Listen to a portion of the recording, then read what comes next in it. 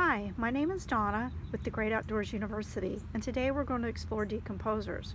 The decomposers are organisms that break down other matter into their most basic parts, into the nutrients that go back into the soil. And those nutrients are what trees and plants and other living things will take up in order to grow. There are different kinds of decomposers and we refer to them as the FBI. The F is for fungus, the B is for bacteria, and the I is for invertebrates. Now we can see the fungus and the invertebrates. Bacteria we can't see, we just have to know that they're down there doing their work. And the first one we're going to look at is the fungus. Here's one that's growing in my yard. This stump has been sitting there for quite some time. You can see this one up here there's another, there's some more down here at the base. You see those down there? They're all different kinds. Now, I'm gonna turn this log over and look what you see on the back, back side.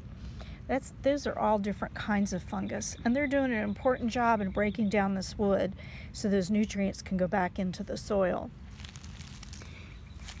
And what we have over here are some logs that have been laying in my yard for a really long time. And I found some really cool invertebrates on them and we'll see if we can find those today. I'm gonna roll this over toward me just in case there was something under there that wanted to run away, it would run away from me. So what do you see here? Ooh, those are slugs.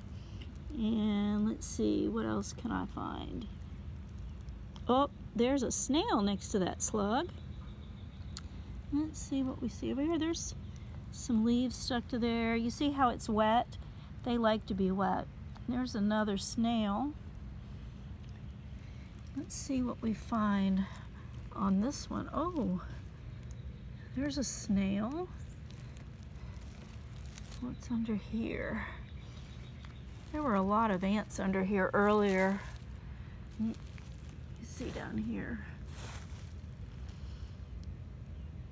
Mm, do you see anything else? There's a snail.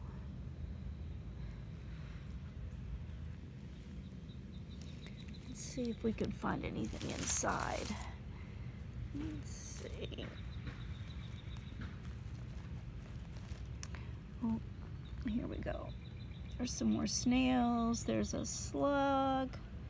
There might even be some so those are invertebrates. And what invertebrate means is it doesn't have a backbone like you and I have. Oh, see there? See there's a, a roly-poly in there with that snail. So when you're out in your yard or you're out in the woods, I encourage you, if you find an old log, turn it over, see what's under it. Just remember to roll it towards you because there's something under there that doesn't want to be found and wants to run away, it'll run away from you.